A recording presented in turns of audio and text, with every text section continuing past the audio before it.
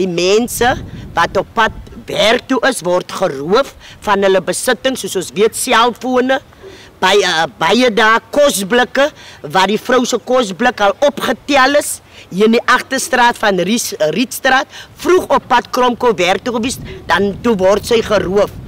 Skoolkinders wat die bospaaie gebruik, word geroof van hulle klere, skoene, naam, uh, klere en goedes was kinders geroof. Hulle rugsakke, daar word hulle boeke uitgeskit.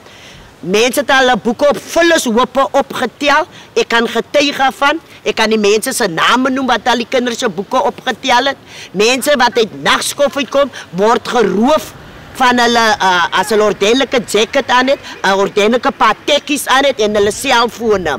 Mense word verkrag, mense word vermoor. Dis die tipe dinge wat hier gebeur. Dit is hoekom dit so belangrik is om ons bosse rondom ons plekke af te kap vir veiligheid. En die bly baie ou mense wat mos nie hulle self kan verdedig nie. Bly hier rondte. Nou hier in die kop en bossies en oras word die mense se huise dophou, die mense se bewegings dophou en dan aan die nächste dag word hulle uh, uh, as hulle uitgaan, as hulle weer kry sit ingebreek, as hulle plekke beroof, hulle karre is ingebreek en almal die dinge as gevolg van die bosse en die donkerte wat heers in die driekwart van Grabouw.